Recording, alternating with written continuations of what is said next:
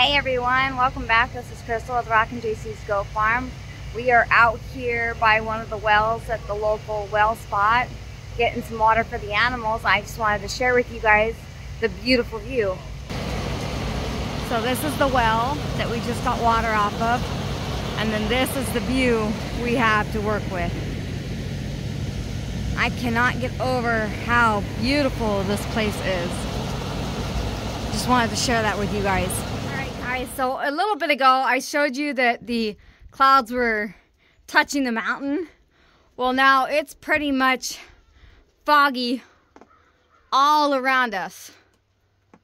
Really, really heavily on that one mountain. You can't even see it anymore. So cool looking. I'm absolutely loving this.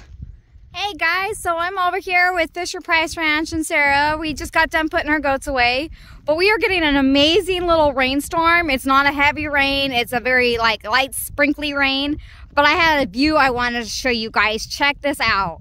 The clouds are just over covering the mountain right here, and it is just absolutely gorgeous. We don't see a lot of this in Arizona, and I just wanted to share this with you guys.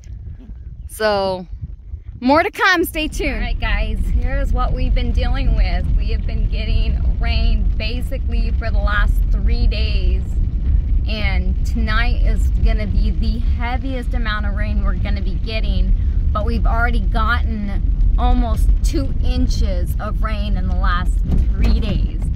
This is why we moved here. We are so happy to have all this moisture that when here in the next few days, I'm gonna try and get a garden going so that we can get some veggies growing. Super excited.